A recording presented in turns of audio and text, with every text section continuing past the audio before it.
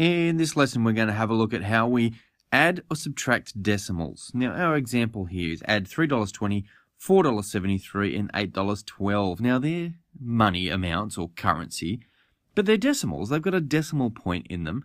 So uh, this is an example of adding decimals together. So let's do it. If I was to take those numbers and just take the decimal point out, just imagine they were full numbers. I could do that easily, right? Just because they're decimals, uh, doesn't doesn't make things any harder. Like if I imagined that they were just full numbers, I could do that easily. I'd put them into an algorithm. I would add them together in my algorithm form, uh, and I would get if I went uh, zero plus three plus two gives me five. 2 plus 7 plus 1 gives me 10, so 0, carry the 1. 3 plus 1 is 4, plus 4 is 8, and 8 is 16. I'd get 1605. Well, the same process we can use, but this time working with them as decimals. I can simply put them on top of each other with my units all in a line. So in this case, these are my hundredths. These are my tenths. These are my ones. Now, the really important thing here is to remember to get the decimal points all lined up. So when I write my decimals, I want the decimal points to all be written exactly over the top of each other. And the same in my answer. So in this point here, this is where the decimal will go in my answer. So I'm going to put that decimal point in. Now I go through and do my addition just like I did before. 0 plus 3 plus 2 equals 5.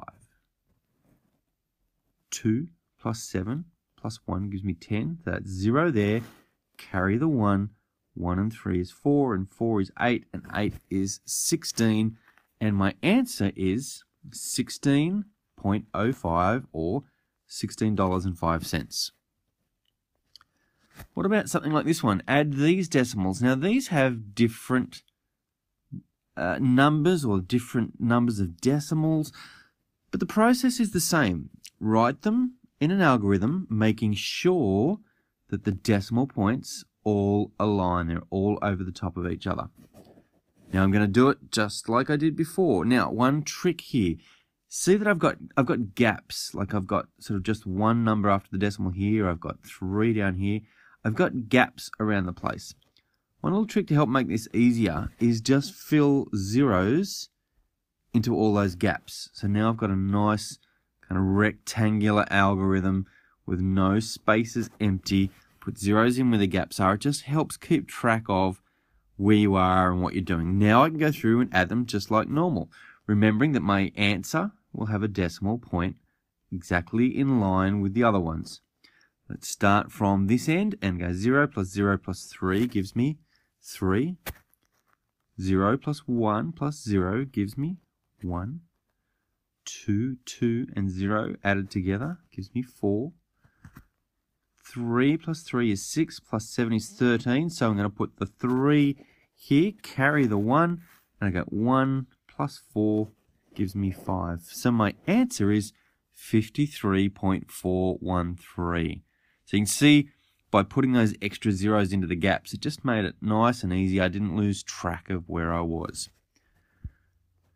What about subtracting? You know what? Follow the exact same process. Okay, I'm going to subtract 3.2 from 12.23. I can write out like an algorithm, remembering to align my decimal points. Okay. So let's go ahead and do this. I've got my decimal points lined up. I'm going to put a zero in here and here just to fill in my gaps. And I'm going to do my algorithm. All right, my answer. Make sure this goes in line with the others. Now let's do it. 3 minus 0 equals 3. 2 minus 2 equals 0. 2 minus 3 I can't do, so I'm going to borrow 1 from the next column.